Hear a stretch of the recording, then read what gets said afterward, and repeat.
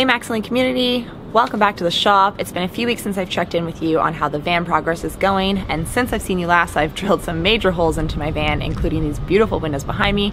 I have been posting over at my new channel called Life with Lee which I invite you to join me over there. You can get caught up on the videos here or here wherever they go. And today I'm going to bring you along for a day in the life at the shop of building my van as well as the other projects we have going on here. Come along for the day. This is Clover. You guys met her last time, but she's the most important player at the shop. Okay, and here is the progress since you've seen it last. Two beautiful, bigger than bunk bunk windows. I finished my subfloor, put in the wheel wells here. These guys actually fully open, which is pretty cool. Check that out. Where I'm at today is I just started running these furring strips behind me up here. I'm gonna be putting furring strips on the wall as well as deciding where the electrical is gonna go. I'm trying to decide on insulation. Um, I'm leaning towards spray foam, thinking about doing it myself with the help of my crew here. Um, but a bit nervous as it is very permanent. Uh, wool's a great option, however, it is on back order. And yeah, so many little decisions going into a day-to-day process here. We have Matt and Missy coming in. And this is my all-time favorite little friend, Frankie. Hey girl, say hi to the vlog. Hi Frankie. To give you reference, this is my hand and this is her her head. Someone's going to rip some waves. my fake surfboard. Yeah, but this is like the nicest fake surfboard there is. Yeah. What you doing, sir? Procrastinating, talking to Woolly Bear about racing, board shaping, Hawaii. Nice. Spending time in the tropics without sunscreen. Don't do that. that. This van's getting close to finish, but we had a mysterious thing happen with the window the other day. Joe came in this morning. He's like, hey, what happened to the van window? Like, what do you mean what happened to the van window? I parked it last night, left, everything was fine. And apparently it exploded overnight.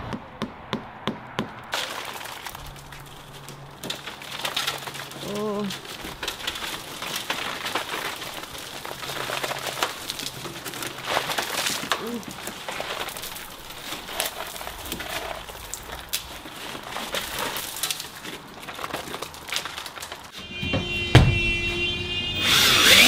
Squeak gone? Ah. Yeah. So the whole point of the furring strips here is because I'm going to be doing overhead cupboards all the way along and we started putting in some rib nuts which are actually really cool and handy. They go in and then they expand on the inside. The very real and unsexy part of building a van is all the time spent staring at the wall.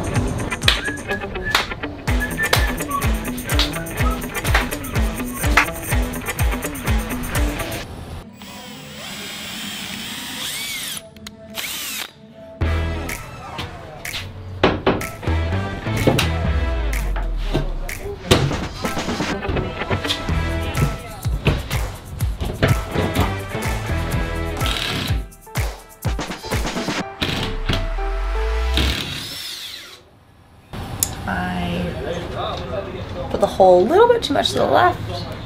So.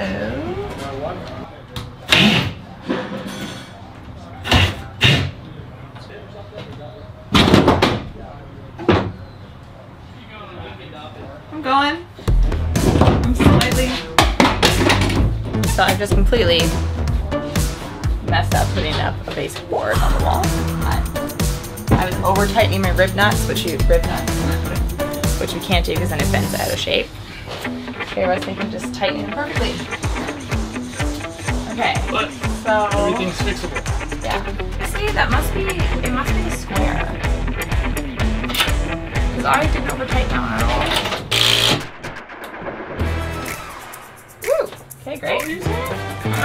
Oh, what? How is that?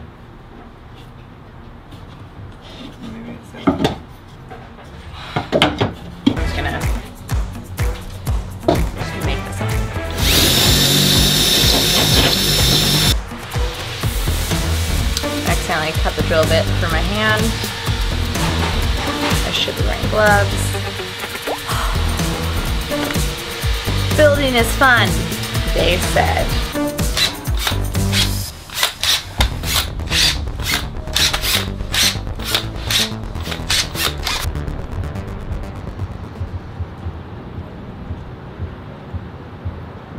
Hello. It's lunchtime, Clover's favorite time of the day. And she hates to be pat while she's begging for food. Don't touch me. I'm concentrating. Okay. Back to work.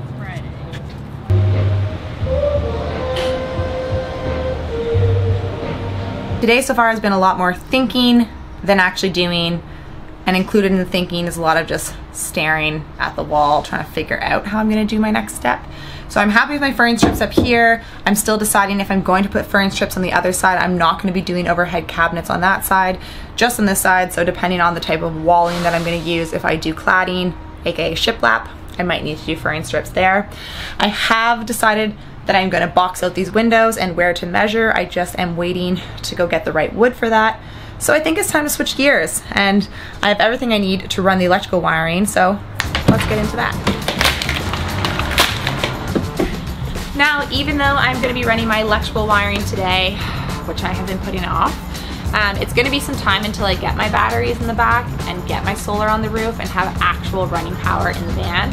So in the meantime, I have the perfect solution and I'm very grateful for my Jackery portable power bank. You guys have seen me use this. You know how much I love it. And it has become an integral team member on this build so far. So I wanna say a huge thank you to Jackery for partnering up with me and sponsoring today's video. I really couldn't think of a better brand partner to work with because I know that so many of you are outdoor adventure enthusiasts, campers, and people who lead an active lifestyle that can really benefit from having a portable unit of your own. So here I have the Jackery Explorer 1000. This is the largest power bank that they've made to date. It has a 2000 watt surge and 46 amp hours battery. That's a hell of a lot. On it, it has the three AC plugs, two USB, two USB-C, and the 12 volts, as well as this cool little flashlight. Like how sweet is that? It's just nifty. This whole unit is just 22 pounds. It can double as a weight for exercise or to weigh down camping goods, but either way, it's a pretty compact unit and awesome for what it is, for how much power it can give you. There's three ways to charge a Jackery. First and foremost, which is my favorite, of course, is under solar sunlight. There's two 100 watt solar panels that you can connect together, connect to the machine, and in just eight hours you can charge from empty all the way to full. As well, if you're a person on the go, you're busy, you forgot to charge it before you go camping, you can plug it into your alternator on your car and charge it as you're driving. And of course, you can always charge it by shore power. I'm really excited to keep building this van and to get on the road and be able to put this to the test in so many other ways, to be blending some smoothies for friends in the future, and to bring it to the beach and to bring it, you know, places that I can't get the van. So, so, so grateful to have this. Thank you again, Jackery. If you guys want any more information, it's all in the description below. It's time to uh, stop delaying and start running my electrical wires. So, let's do it. So, Joe, what's your, uh, what are you doing today? hanging up my chandelier. I was gonna say, is this an art piece? Flash, do you need a hand or are you good? No, I think I got it. Okay. Well, that'll be Jordan nice. likes the fact that it's going to be hanging over a hundred thousand dollar van. Yeah. I don't I don't love that fact. or over people working, which is probably more important. Welcome back. It's a new day and we're starting to run the electrical wire. Thrilling so far. If it's exciting, we've done something wrong. Okay, so next up we have the battery to the rear chase to the driver's side. No. There's four. There's the reading light, the water pump, the cabinet lights to switch.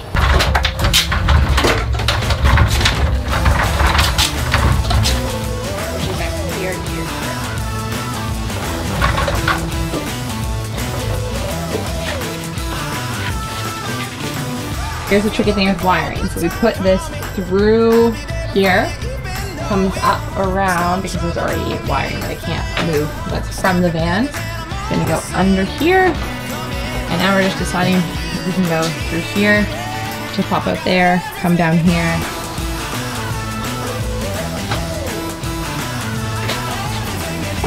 failing, I had to fail you out. Get it. Oh, go back an inch. Stop. I swear to God, I'm like I'm not trying to pull it farther. It's just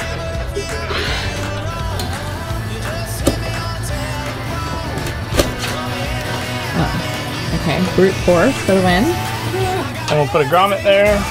People who are worried about the sharp edges, don't worry. With the grommet. Oh, these are grommets. And you just pop that in right there. So it stops it from rubbing on the shear metal. Beautiful. And that was just the first one. The wire. Yay. You got one! You got a big one! Ah! Don't lose it! Here. Failing wire. Okay. Woo! Another one and okay, this is kind of satisfying. So we're upgrading my little labeler so that the tape itself is not going to get caught in the wire the whole way down. How cute is that?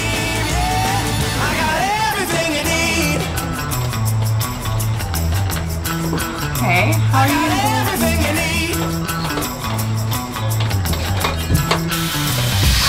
Hit before.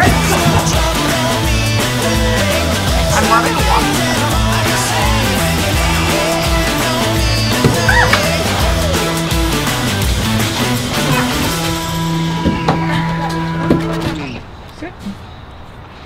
Patience. Patience.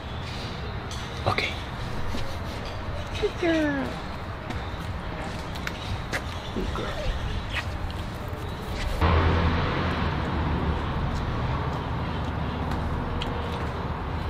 I had a few comments in the last video about these bunk windows, just to be careful when the door opens that they don't slam. That is definitely a safety concern that we're all aware of. Um, so just have to be careful. And Missy's putting on the covers, which is like the outdoor frame, because we need to frame around it to match up to the metal here. Let's try with that earlier. The active work in progress. Disaster zone.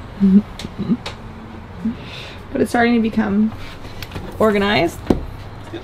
Some cables, some cables, some wires. Okay, so we're running solar wires from up here. They can go through the roof. They'll come down and then they'll attach to the batteries down there. Yes. Yoo-hoo! No! no! oh my god! It's like fishing. Don't let it get away. Woo! Good Whoop, job. whoop, whoop, whoop, whoop. Oh. No! That's my fault. Yay! Nice. Good job. Landed a big fish. Yeah. Biggest fish I've ever caught. Okay, solar done. We're done the 110 outlet. 110 for power charging station. We just ran one 110, didn't we? Yeah, the 110 for the power charging will just go through the bench whenever we decide. Okay, so that'll be later. And then the fridge wire. That's the green one. Nope, No, that's the red and black white, one. Okay. And then the water pump. Yep. Yep. And then this is later because this is battery box. Yep, that'll come out to the garage here. Nice. So I think we're done for the day. Okay, let's double check. But yes, I agree. Like, is she coming in with the box? Son of a bitch. I inched it.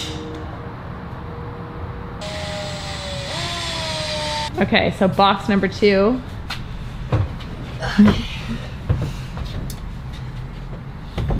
Nice. Okay, so this one's completely my error, but the way that these windows are designed, basically when it's closed, you can't, it sits flush, but when you need to get the screw in, which takes the frame off, so if anything ever happened to the window, it needs to have that much clearance, which just messes up the frame. What do they say? Third time's the charm?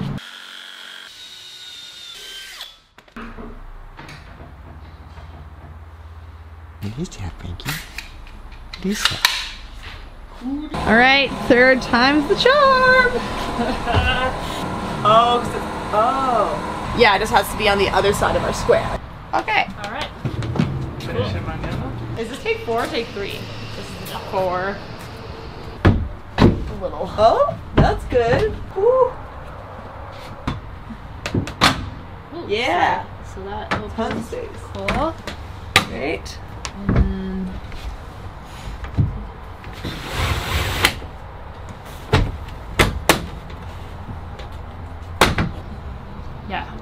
Perfect. Now the camera died during our last reveal, but the box does fit. And the fun part is that I have to do a second box, the opposite dimensions, upside down, and it's slightly off. So anyway, thank you for hanging out with me as I installed some wiring and did a little bit of grunt work on the van. Again, I have a new channel called Life with Lee, which is where I'll be sharing my videos from here on out. I'll pop on here once in a while, but I invite you to join me over there. Otherwise, see you next time.